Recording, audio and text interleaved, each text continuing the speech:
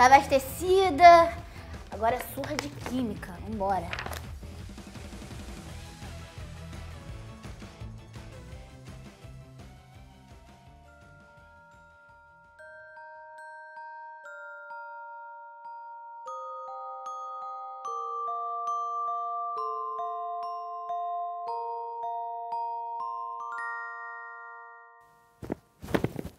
Meu Deus, horas são?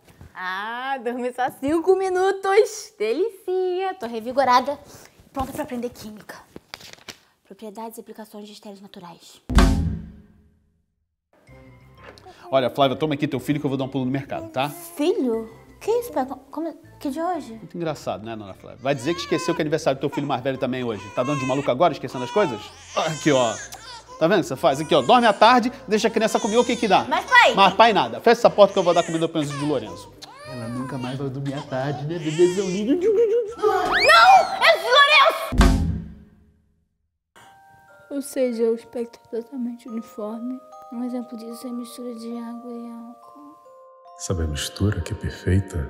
Eu e você. Se aconchega aí, menina. Dá nada não. Meu Deus, não posso dormir. Quem disse? Luzes. Cama. Ó, calma aí. Pra que levantar agora? Só mais cinco minutinhos. Você merece.